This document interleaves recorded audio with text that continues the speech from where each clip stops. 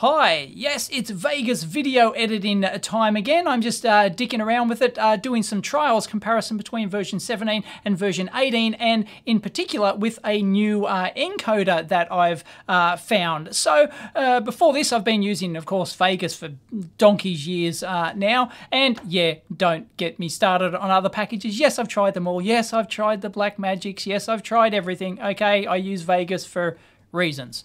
All right. So anyway, uh, what I normally do is use. Uh, so I've got Vegas 17 here, and what I've done is I've set up a test project um, so that we can do a test render, a 10 minute uh, project here on the timeline, which has a mix of different content because the rendering, especially the, uh, the not only the rendering time, but the uh, final file size will depend on the type of content uh, that you're actually rendering out. In this particular case, I've got a mix of like, uh, you know, a talking head, Dave in front of the camera. I've got a mix of uh, bench um, stuff here, which I normally do. And then I've got a screen capture and screen captures uh, because they're absolute static images. They basically, you know, my little head changes down here, but like there's no little shaking in the camera which moves pixels like this. So it's absolutely pixel perfect. So that's really great for constant quality algorithms and uh, and uh, things like that, and also rendering uh, time. It, it renders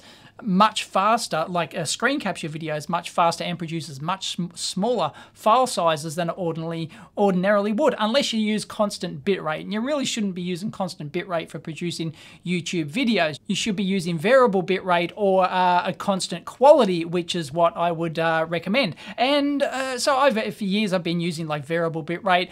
In recent times, I've been using constant uh, quality using the NVENC encoder, which is the NVIDIA uh, GPU hardware hardware encoder supported inside Vegas, and I'll show you that in a minute. Um, but unfortunately, version 18, they've actually removed the constant quality format. I'll show you this. It's This is what really ticked me off and why I found a new encoder uh, for this thing. Anyway, so we've got a 10 minute test video, so let's render this. Um, I'm doing this on my solid state drive, but uh, it, it, really makes no difference where your source materials are and uh, where you're rendering to, I found, because like my network drive where I normally have my videos from, it doesn't impact the render times at all. So writing, reading or writing from a solid state disk makes no difference. But anyway, we will uh, write to a solid state disk today. Hang on, what I'm gonna do is I'm gonna change the project. It's normally 60 frames per second. I'm gonna change it to 30 frames per second because that's just gonna work better with uh, the mixed content here because my capture is only 30 frames per second. And anyway, so we'll do that and we'll save that and we'll, we'll now render a project. Now,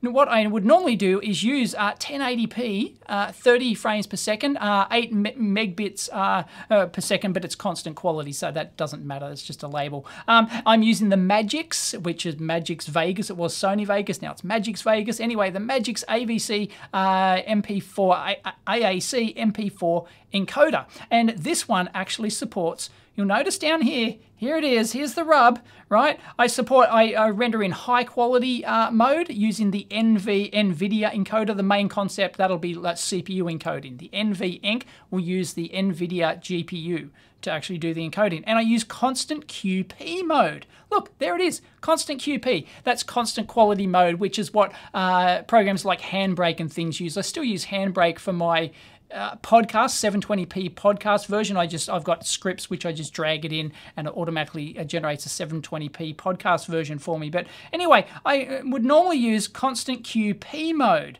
right? So I, I don't think the variable bitrate actually matters here in the constant QP mode. But one thing about this is it doesn't actually let you set the quality factor of the video. So what constant quality is, is it analyzes each frame and chooses a bitrate based on the complexity or changes in frames between, you know, it's probably a block of frames or something, not sure the exact mechanism, but it varies the bitrate all the time dependent to give you a constant quality in your image. So, you know, like X amount of loss or X amount of blockiness or whatever.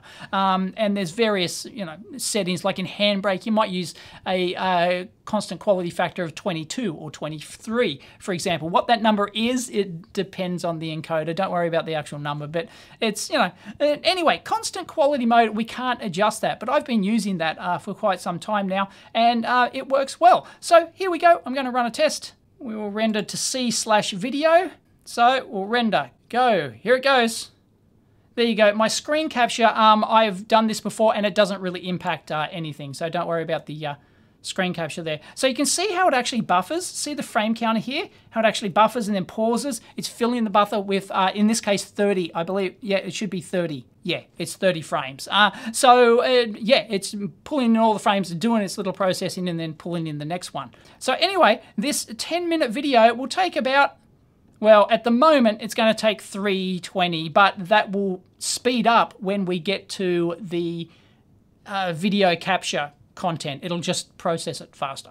So I'll get back to you. Here you go. It looks like that is going to take 3 minutes and 38 seconds. 338. And there it is, uh, 226 meg. So yeah, that's a combination. So let's uh, now try version 18, the new software I just got, and see if uh, this new encoder that I've got actually makes a difference. Right, so this is version 18 here, and let me show you, okay, Magix, AVC, AAC, okay, it's still, it pulled in all my original uh, ones here, and if we go into customize template, here we go, down here, NVENC, high quality, VBR, where is the constant quality? They've actually removed the feature. I'm sure they have. Um, so it's it's it's Gonski. like this was like the single thing that I used on Vegas. Yeah, I like I, I can do VBR. Like if I'm doing a 1080p video, for example, uh, then I might typically use an average bit bit rate of eight megbits. Uh, that's what YouTube recommend, I believe. But it depends on the content. If I'm shooting my lab content like this, like not much is moving, just my talking head is moving around or the product's moving around in shot it's nothing really that requires a high uh, bitrate because the, the more content you have moving frame to frame in your video, the higher bitrate you're going to need to keep the same compression and to stop it going all blocky and you know losing the quality and stuff like that. So I typically, because uh, uh, my camera, I think at 1080p I'm shooting at 28 megabits per second, but I might have like a maximum of 20, so it'll peak. It'll change the variable bitrate and stuff like that. Um, so if I'm going to use VBR, oh, well, actually, I, I will do a VBR version of it and, um, and just compare the file size, actually. But if I'm doing a, a, like one of my outdoors videos, for example, my one of my canyoning videos where there's you know trees and things moving and the camera's shaking and doing everything else, I'm going to use much higher bit rates uh, than what's here. So you know, don't take this as you know if you're outdoors shooting, you know, you don't want like an 8 megbit average uh, video perhaps. Anyway, and of course, if you go into 4K content, you would have higher. I've got different settings for uh, 4K. Anyway, what I wanted to show you is a new encoder because this they've removed the constant quality encoding from NVENC on version 18. Unbelievable. I'm going to need another uh, encoder, and uh, thankfully, um, some people over on the uh, Vegas Creative uh, Community Forum they actually um, helped me out, and they recommended this one, which I've never heard of. So thank you very much. It's called Voukoder if I'm pronouncing the Voukoder, Voukoder. Um, and uh, look, it supports Adobe Premiere, Adobe Media Encoder, After Effects, Vegas Pro, and Virtual Dub 2.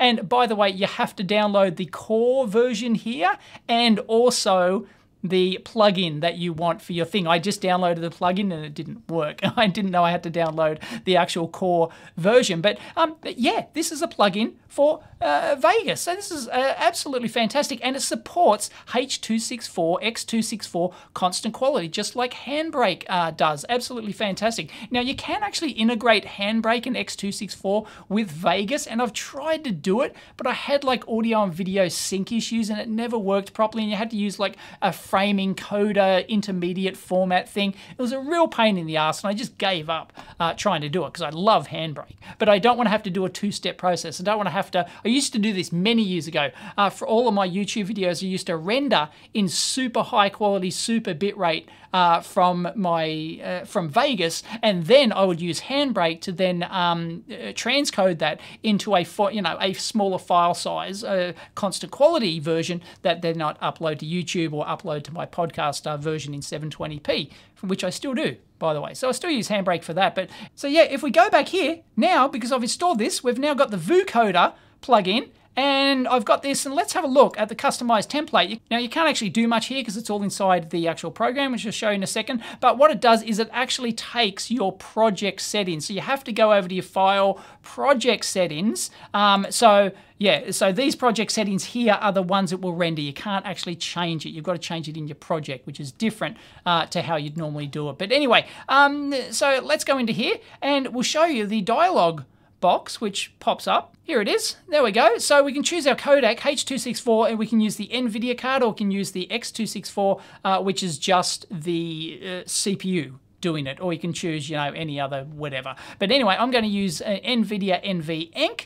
Um, and then the options here, I've got a GeForce uh, 1070 card for those playing along at home. And the quantizer value or constant quality factor is set to 23. What do they tell you? The encoding mode to use, choose constant bitrate, constant quantizer, or, con or variable bitrate. So we use, it's called con constant quantizer here. I've never heard that, but it's constant quality um, everywhere else I've uh, seen it. And the, uh, the quantizer value seems to be like the same as Handbrake, because Handbrake uses X264 uh, as well as the encoded. Handbrake's just a shell program around that. So 23, this is a highly non-linear value. So normally 22, 23 is is a typical value you use, the lower the value, uh, the less lossy it is. Like if you once you get to like you know 19 18 something like that it's almost lossless um, it's you know but you'll get really huge file sizes and if you go to like 25 you start getting you know, pretty lossy, um, something like that. So anyway, uh, 23 is the default value, so we're all going to stick with all the default values there. Uh, the audio is AAC, um, and the output uh, container MPEG-4, you can get different uh, containers for it, but we're going to use the MP4. Uh, there's nothing else there. And about uh, Voukoder, Daniel Stankewitz at Lord Vuk, thank you very much. Um, translation, Bruno T, and others. Um, yeah, fantastic. I'm going to, I might donate to this. Yes, donate via PayPal. I'll do that. Um, and I highly recommend you do too if you use it. So I don't, you know, I definitely don't mind paying for software, um, even free software. I will uh, support them. So anyway, let's give it a go. Okay, render test 3, voukoder, and we will now get a better uh, box. Version 18 has a better rendering box here. Um, so that's really good. And it shows you the rendering duration. So that's not going to go down. So already you can see it's fast. It was 3 minutes 38 before, and it's saying it's going to do this in, well, you know, two and a half minutes something like that. So it is faster than NVENC. And I just uh, rendered my mailbag video with it, and yes, it was much faster. And you'll see, oh, there's a, no, there's basically no buffering there anymore. Look how fast that's going. So as you can see, yeah, there's no buffering. It's much faster. It's faster than real time. So this is a 10 minute video and it's going to do it in two minutes, under two and a half minutes. My, uh, For a reference, my 50 latest 52 minute mailbag video, I rendered it with this, these exact uh, settings, and it took uh, 14 minutes um, and 20 seconds or something to render a 52 minute mailbag. So that's pretty schmick. Yeah, two minutes, 34. Sweet. So that's that's more than a full. That's more than a minute quicker. Wow, that's like a third quicker. That's that's fantastic. Wow, just there. It's worth uh, using. Anyway, so let's have a look at the uh, file size. Let's see what we got. Aha, uh -huh. unfortunately, it is, yeah, I noticed this with my mailbag, and I mentioned this on the uh, forum as well. It is much higher in file size, 360 meg. So we can actually tweak that though with that uh, QF value, that constant uh, quality value. We can actually tweak it because obviously we weren't able to uh, tweak that value in version 17. So it's obviously using a more aggressive uh, compression there, which uh, I, I can play these uh, videos, but look, I, I've had a look at these before and you really can't pick a difference between it. So I might actually experiment with the quality factor there. I think I'd be surprised if I can't go to a value of 24 there actually. So yeah, yeah, there you go. But that's quicker. And just for completeness, I will re-render that using a uh, variable bitrate. There you go, high quality, variable bitrate, VBR, boom. And here we go, we're going variable bitrate. And that's gonna take longer than the constant quality. And constant quality is better than the variable bitrate. So yeah, um, why you wouldn't use the constant quality, I don't know. Yeah, it's now it's gonna take three minutes 20. But what I'm really interested in is the uh, file size. And there you have it, uh, 3 minutes 11, so that's significantly uh, slower than the constant quality, and and that's curious, isn't it? It's almost precisely only one kilobyte difference between the constant quality and the VBR version. It's just sheer coincidence, I'm sure. anyway, uh, yeah, I need to tweak the uh, Voukoder uh, one, I think, to, just to get the file size down. I don't want it to be smaller. Like, I was happy, super happy with the quality that I was getting. There was no degradation in the constant quality I was getting from the uh, version 17 uh, Vegas and um, NVENC in, encoder. So, you know, there's no reason to sacrifice uh, larger file size um, if it's not actually necessary. So, anyway, I'll experiment that. Like, I could pl actually play them now, but you know, trust me, you're, you're not gonna you're not gonna pick the difference. Like the quality is gonna be like I'm not going to be able you know, like there's the right. You, you've got to go full screen. There it is. Right. You are not um, gonna pick the difference. I guarantee it. Oh, I'll link to Kev's channel on. Yep. I, I guarantee you're not going to see it. you're not going to see the difference. So that's the Voukoder one, and this is the version 17 yeah, you're not going to see it. This is not a polished edit. Where am I holding stuff up to the camera? Oh, come on. There we go. Enable product shot, but yeah, there it is. Little trig board. Yeah, no, it's like you're, you're not going to pick the difference. Issue to hand. there it is. Yeah, the screen capture, pixel perfect, absolutely pixel perfect. No, no problems whatsoever. So yeah, there's no point uh, like pissing away and extra like 100 and you know 40 megabytes there. Like you know it's like increased by like a third file size. So yeah there's no point. But I like the uh, Voukoder thing. So thank you very much uh, to those on the Vegas Creative Forum for pointing that one out. That's I'm going to use that even though the bastards at uh, Magix seem to have removed the constant quality encoding from version 18. Unbelievable. Don't know why. If you know why, leave it in the comments down below, please. But yeah, anyway. Um, and I had crashes with uh, this, but I've, I've done a few tweaks to it, and it, it doesn't seem to crash now, and the encoder seems rock solid and pretty darn happy because it's using um, uh, the X264, which is what encoder, I believe, which is what Handbrake uses, and I'm super confident in that. So yeah, it looks like I really got a good solution now with version Vegas version 18, and I've even got even faster encoding. Uh, so rendering, as I call it. So uh, absolutely fantastic. Winner, winner. Chicken dinner. Catch you next time.